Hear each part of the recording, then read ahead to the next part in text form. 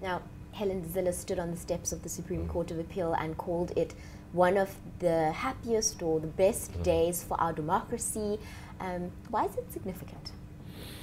Well, of course, for her it's significant because for once she had some publicity after the EFF been stealing the limelight of the DA. right, right. Yes, but um, the decision in a way is important because the National Prosecuting Authority is supposed to be an independent body.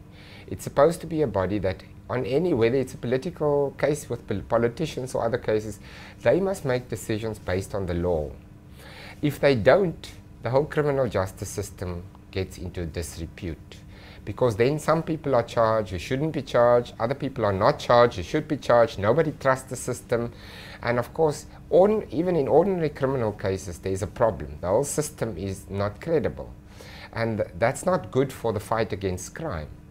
So in that sense, it is a, there's a bigger issue here about the fighting of crime and the NPA having to comply with the law. So these spy tapes is just a preliminary skirmish. I think it's a little bit overstated to say this is the most important decision. The decision really that is going to be important is the decision of the court on whether the charges should have been dropped or not. Um, and if that decision uh, goes the way of the DA, then that will really put the NPA on terms and say you cannot make decisions based on politics. You have to make decisions based on the facts and the law which is not always the same thing as the political considerations. But at the end of the day, we're in for a long road still. This isn't going to have a speedy resolution, is it? I would be very surprised if there's a speedy resolution because, I mean, if, if I was the president, I wouldn't want to the court to actually finally make a decision on this because it might go against him.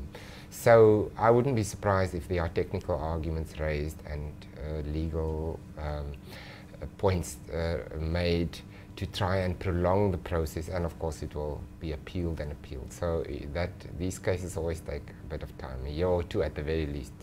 Well thank you so much for joining us today. Thank you very much.